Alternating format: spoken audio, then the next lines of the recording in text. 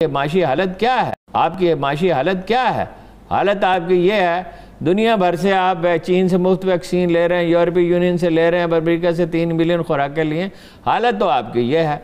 और गैर ज़िम्मेदारी का आलम यह है कि जी मैं ये बिल्कुल शुभ रोज़ देखता हूँ, मास्क पहना हुआ है नाक पे नहीं।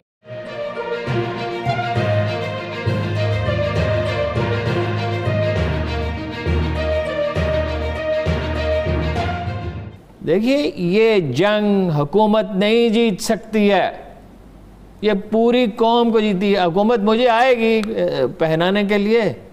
कि मास्क, मास्क पहनाने के लिए। मेरे पास है वो लोशन लेके आएगी। ये अमेरिका नहीं है कि आप लगवाएँ अपना वैक्सीन तो आपको सौ डॉलर मिलेंगे। आपकी माशी हालत क्या है? हालत आपकी ये है दुनिया भर से आप चीन से मुफ़्त वैक्सीन ले रहे हैं यूरोपीय यूनियन से ले रहे हैं अमेरिका से तीन मिलियन खुराकें लिए। हालत तो आपकी ये है। और गैर ज़िम्मेदारी का आलम यह है कि जी, मैं ये बिल्कुल शुभ रोज़ देखता हूँ, मास्क पहना हुआ है नाक पे नहीं है।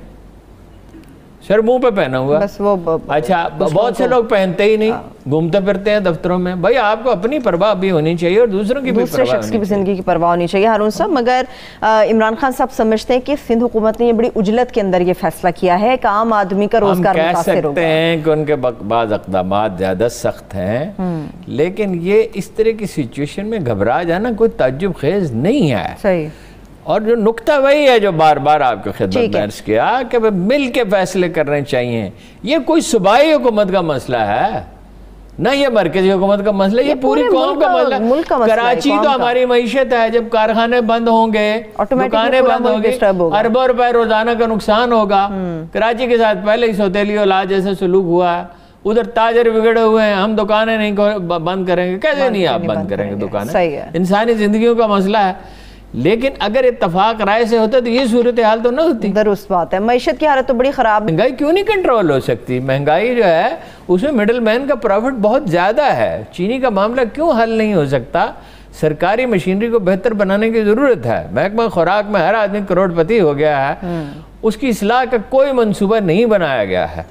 ये पुलिस है लोगों मारती पीटती है रिश्वत वसूल करती है। ये यानी हालत यहाँ तक हो गई है कि जैली सर्टिफिकेट जारी हो रहे हैं। कोविड के हवाले कोविड के के जिन लोगों ने बैरून मुल्क सफ़र करना है ऐसे अकलमंद लोग हैं ना आपको पता है ना कोविड में भी कोविड में भी बात करते हैं हाँ। कि अपना कह दिया एक मुफ्ती साहब ने कि ये तो वैक्सीन का तो कुरान मजीद में ज़िक्र ही नहीं है।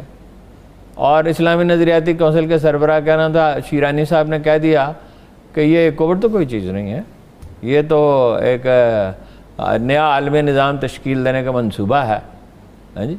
अब पढ़े लिखे लोगों को आप देखते हैं बाद पढ़े लिखे लोग वैक्सीन नहीं लगवाते। कहते हैं जी इससे कि बाद इंसानी सलाहियतें मुतासर होती हैं। और पढ़े लिखों की वजह से ख़राबी हो रही है। खैर उस पर सही तो है ठीक है। चलिए कोरोना की आपने बात कर ली हारून सब कोरोना तो डेफिनेटली एक चैलेंज है। हुकूमत या फिर सिंध हुकूमत? अब सिंध हुकूमत का मसला बहुत ज़्यादा गंभीर है। इस्लामाबाद की सूरत हाल काफ़ी क्रिटिकल है। लाहौर के हवाले से डॉक्टर यासमीन आशिफ बहुत सूरत हाल खराब है जी नौ फ़ीसद हो गया है। और कराची में तो ये हुआ ना बहुत बुरी हालत हुई। अब उन्होंने कुछ किया है। एक खातून ने बताया कि वो दो तीन जगह पे गई। अब जब से उन्होंने कहा सिम बंद कर देंगे लंबी लंबी कतारें लगी हुई हैं। कल आपको पता है कि वो एक्सपो सेंटर में क्या हुआ पानी नहीं था तनख्वाहें अदा नहीं की गई तोड़ फोड़ हुई मार कुटाई हुई। हम्म। अब उन्होंने ये किया है कि ग्यारह एक तो नए सेंटर बनाए हैं। और एक सेंटर था जो दिन रात खुला रहता था अब आठ ऐसे सेंटर हैं जो दिन रात खुले रहेंगे। कुछ और रियायतें भी दी हैं। ये मसले इस तरह के सूबाई और मरकज़ी को और जितने भी मुतल अदारे हैं एन सी ओ सी और असद उमर साहब उसको कोऑर्डिनेट कर रहे हैं दूसरे लोग हैं ये मिलजुल के करने की चीज़ें इसमें सियासत का क्या दखल है? कोरोना जो है वो किसी की ज़ात पहचानता है किसी की ज़ुबान पहचानता है किसी की नस्ल पहचानता है। हाँ? वो कोई देखता है कि ये आदमी कौन है?